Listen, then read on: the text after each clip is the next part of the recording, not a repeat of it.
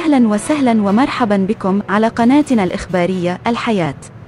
ندعوكم للاشتراك وتفعيل الجرس ولايك للفيديو ليصلكم الجديد والحصري علمت موزايك أن قاضي التحقيق العسكري أصدر قرار ختم البحث بخصوص القضية المتهم فيها كل من الصحفي عامر عياد والنائب المجمد عبد اللطيف العلوي والمتعلقة بتصريحات أدلي بها في حصة تلفزية على قناة الزيتونة حيث تقرر إحالتهما على الحالة التي هما عليها على أنظار الدائرة الجناحية لمحاكمتهما من أجل ما نسب إليهما من أفعال وبصدور قرار ختم البحث وجه قاضي التحقيق العسكري إلى العلوي وعياد تهما تعلقت بارتكاب فعل موحش في حق رئيس الجمهورية ونسبة أمور غير صحيحة إلى موظف عمومي دون تقديم ما يثبت صحتها والمس من معنويات الجيش الوطني.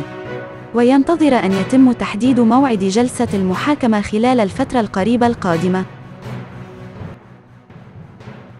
ندعوكم لترك تفاعلاتكم وتعليقاتكم وإلى اللقاء.